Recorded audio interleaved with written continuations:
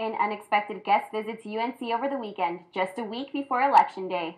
UNC's campus got spooky this Halloween in more ways than one. We've seen unseasonably warm temperatures this week for us here in Greeley, but what's coming ahead? Stay tuned to find out. Rockies are looking for a new manager. Full highlights later on in sports. This is Bear News. Don't go anywhere.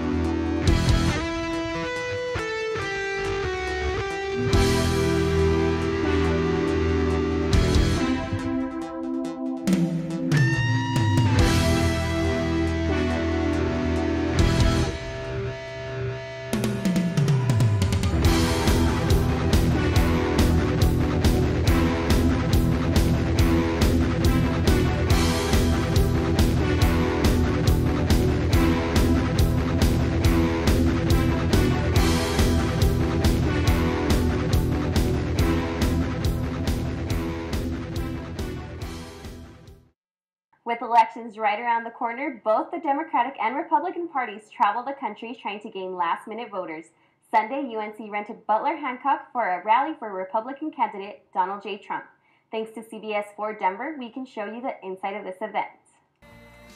Trump took the stage at 4 p.m., which was an unusual time for Denver sports fans. He even made a joke about holding his rally in the middle of the Broncos game and still having people in attendance. Trump touched on is- issues such as the oil and gas industry, which hit close to home for many Coloradoans. He talked about his plan for the nation's healthcare system if he wins and other issues that have Americans buzzing lately. The goal behind Trump's visit to Greeley was to get people out to vote to win Colorado. November 8th is the big day. If you haven't already turned in your ba- your mail-in ballot, make sure you wait, make your way to a polling center and cast your vote. Elections always bring out hordes of people trying to get their message heard. Bear News reporter Jackie Polizzi spoke to a Nashville couple in Greeley to push their campaign, Lift the Vote. With elections less than two weeks away, candidates are on the road trying to gain voters. Donald Trump is trying to influence the Greeley community. Trump was not the only one trying to influence northern Colorado. Lift the Vote set up camp in front of the entrance line to touch as many people as possible. A movement. There is a movement across the country, and people are turning out more than they ever have in our lifetime, and we're double your age. So They don't only attend political rallies, Just this week, our buses have been at the Ohio State University football game, at the Georgia Florida game down in Jacksonville with 150,000 people, at the Cincinnati or at the Cleveland Indians Chicago Cubs game in Cleveland. Uh, they've been at Trump rallies, they've been at big churches, and they were at a pumpkin festival in Ohio that draws 400,000 people over four days to a town of 13,000 people. Lift the Vote has three teams across the country that travel to different events to spread the word about Christians voting. there's many Christians that didn't vote in the last two elections, each one, 40 million, as there are residents of California. Even though they target a Christian audience, they want people to realize that the only way for change to happen is to have their voice be heard. Yeah, the point is that if we stay home, we silence our own voices. Reporting at the University of Northern Colorado, I'm Jackie Polizzi, Bear News. This is one of the many messages on display at the rall- at Sunday's Trump rally. It's too late to mail in your ballot, but not too late to vote. Make sure you make it to the voting centers on November 8th. November is an exciting time for many students across campus. Winter break is almost here. They're making plans. A little change in the weather and registration has students blowing off homework, blowing off homework to find that perfect class that fits their schedule. All of us at Bear News want to remind you that it is time to see your advisor to get those important PIN numbers so you can register on the appropriate dates in November. Some helpful tips to chew on actively check URSA for classes because a lot of them fill fast. Mark your calendar for your, your registration date so you can take that fun pottery class that everyone wants to get into. And finally, have all of your ducks in a row so you can get into all the classes you want as soon as registration starts. For all of you seniors out there, take it in and enjoy your last undergraduate registration. It's the first week of November, but we're still seeing summer like weather. How's the forecast looking, John? Hello and welcome to Bear News. I'm your meteorologist, John Polydors. Taking a look at our current conditions right now, we're seeing 65 degrees with a real light wind, about 6 miles an hour, coming out of the east. For tonight, we'll see those skies clear up, those winds calm down a little bit, and we'll see the nighttime low just drop above freezing at about 34 degrees. Taking a look at Loveland ski area, here's a picture where they saw three inches of fresh snow this past week. And while they're not as open as the other resorts like A Basin. They're going to be opening up next week. But here is the local mountain dog for Loveland enjoying that snow, sticking his face in it. I'll have your full forecast for you in just a moment. Spending time with ghosts and goblins and maybe even a princess or two? Yep, but not to worry, it's all in fun. The UC parking lot was the place to be this Halloween as it hosted Trunk or Treat a safe alternative to trick or treating. The annual event gave kids the opportunity to get candy and play games while dressing up in their best costumes. Many campus organizations parked their cars and handed out candy from the trunk of their vehicles. Some of the students also wore costumes while they interacted with the trick or treaters. The event only lasted a couple of hours, but the kids definitely got their fill of sugar for the night. One UNC residence hall puts on a spooky treat for Halloween and for a good cause. Reporter Stephen Rice gives us an inside scoop on Haunted Harrison. Hi, I'm Bear News reporter Stephen Rice, about to give you an inside look at Haunted Harrison here at Harrison Hall on the UNC campus. Welcome to the Harrison Museum. This museum was created a couple years ago after we found the remains of the Harrison colony. But before you're allowed to enter the haunted hallway, you must pay a dollar or a perishable food item that would go to Bear Pantry and help with the fight against hunger. This cause will quickly turn to terror, as you're about to see.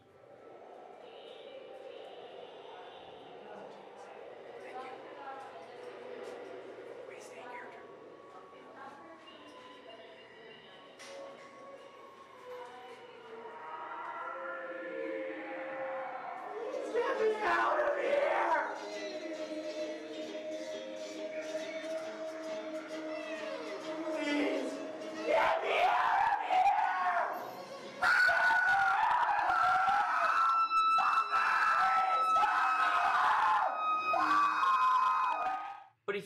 chance to pee your pants like I did, senior resident assistant Ian Hurt recommends one thing.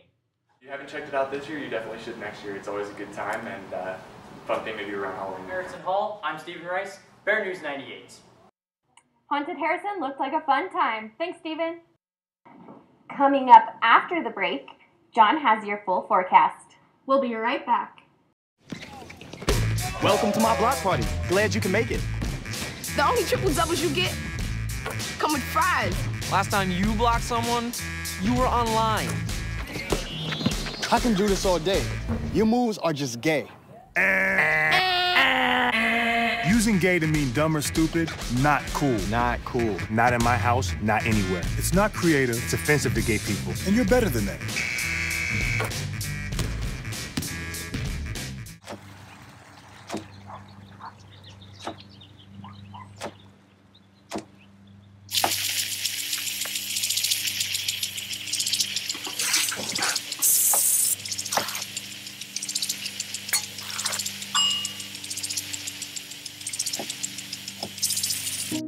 Kitchen surfaces, utensils, and hands with soapy water. One in six Americans will get sick from food poisoning this year. Keep your family safer. Check your steps at foodsafety.gov.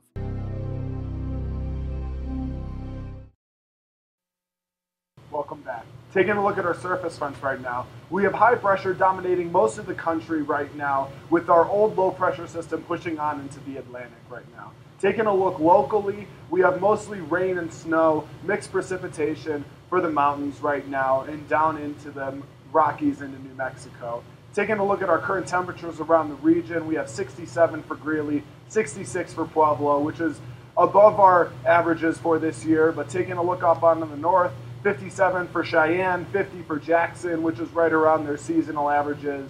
But Topeka and Oklahoma City, Oklahoma City sitting at 73 degrees, which is quite warm for this time of year for them. But into next week, we'll see those high temperatures start to take a little dip and go more seasonal averages when we see our next system come through.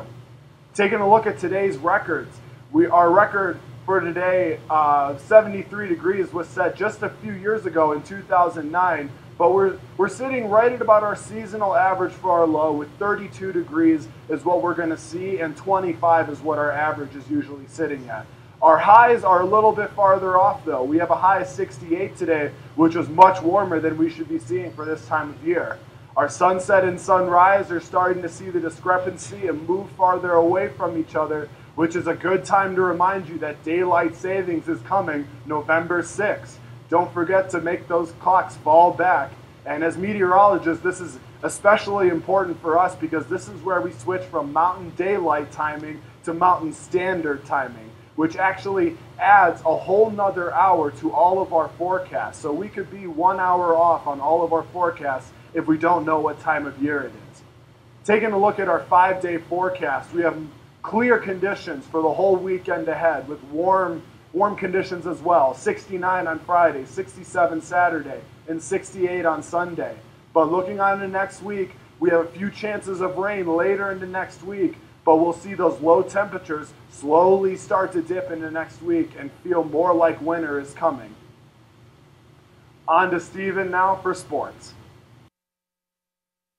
The UNC football team won a thriller in Oregon over the weekend. Full highlights after the break.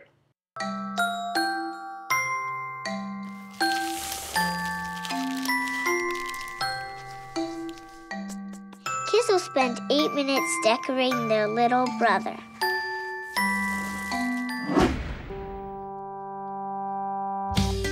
Brushing for two minutes now can save your child from severe tooth pain later. Two minutes, twice a day. They have the time.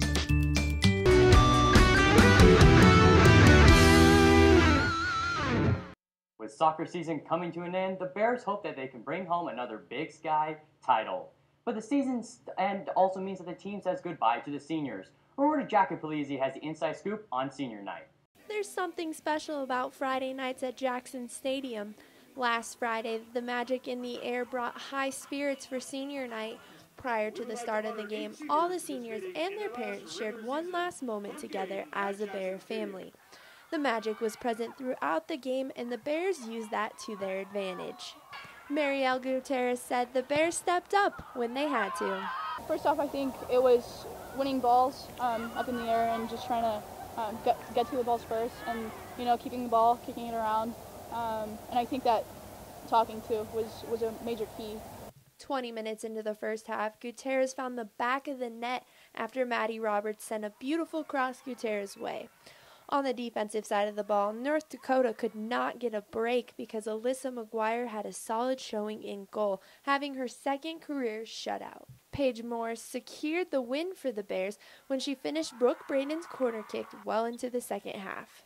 The Bears' big 2 0 win over North Dakota secured them a spot in the Big Sky tournament. I think, you know, obviously it means you keep, get to keep playing, and that's the most important part. Um, you know, I think it's been overall it's been a good year. You know, a 10 win season so far.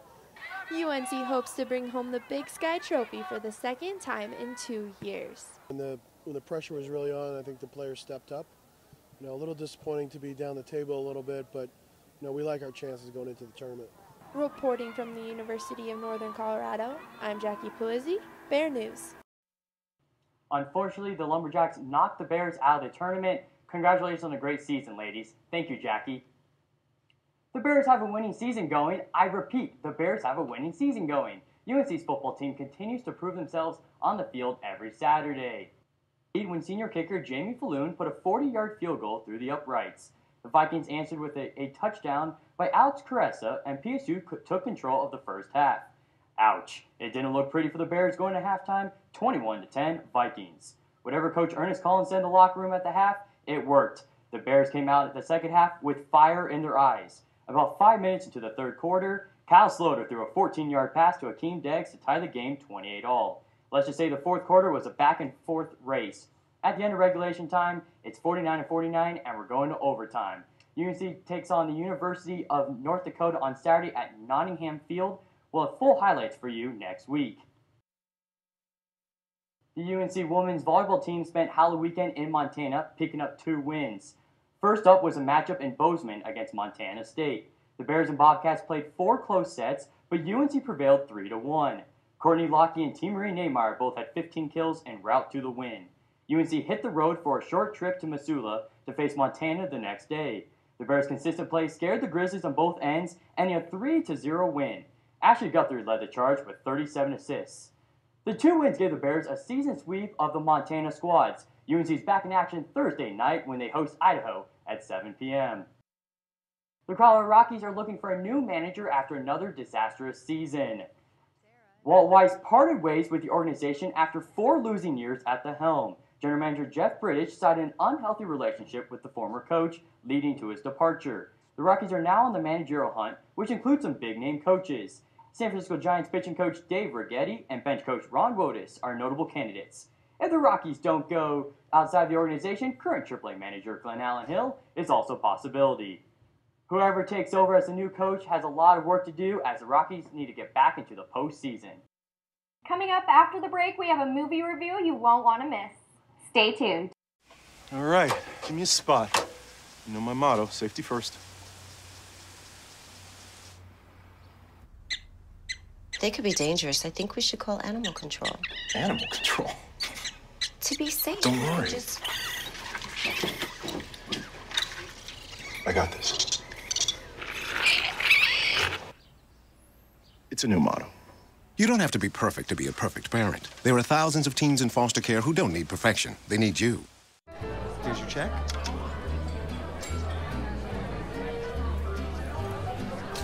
Oh, you, you got it.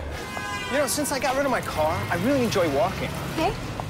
God, no. Getting pulled over for buzz driving could cost you around $10,000 in fines, legal fees, and increased insurance rates. Oh, you're home early. You live with your mom? That'll set your game back a few years. Buzzed, busted, and broke. Because buzz driving is drunk driving. The Magnificent Seven ride again. Antoine Fuqua's remake dazzles the big screen. Denzel Washington leads a cast of heavyweights in this American Western thriller. Set in 1879, a wolfish industrialist, Bartholomew Bogue, played by Peter Sarsgaard, grasps control of the Old West town of Rose Creek. Desperate for a savior, native residents seek help from local bounty hunter Sam Chisolm, played by Denzel Washington. Chisolm recruits six deadly outlaws in order to end both terror. Fuqua's flick in a recreation of the 1960 Western classic of the same name, directed by John Sturges. The 60s Western was based on Akira Kurosawa's 1954 Japanese tour de force, Seven Samurai, which is regarded as one of the most influential and reworked films of all time. Denzel once again proves to be a prevailing force that cannot be stopped. He delivers a commanding performance that draws the viewer in from the beginning to end. Fuqua steers away from the gory Tarantino feel by rever- reverting back to the classic style of Western gunslinger film. Chris Pratt makes the film feel fun with his quirky attitude and the lovable personal personality he seems to ensure. Ethan Hawke also stars alongside Denzel Washington, and it's no surprise that they mesh together like veteran sports teams. The two starred alongside each other in the critically acclaimed film Training Day, which was also directed by Fuqua. Fuqua creates a picture perfect feel to his film that is beautifully shot with a polished script that will not disappoint. The movie has a runtime of 2 hours and 13 minutes and is a fun ride all the way till the end. And that's our show for tonight. Thanks for joining us this evening. We'll be back next week. Until then, stay up to date on our Facebook, Twitter, and Instagram, Bear News 98. Be sure to like us. And from all of us at Bear News, have a great weekend.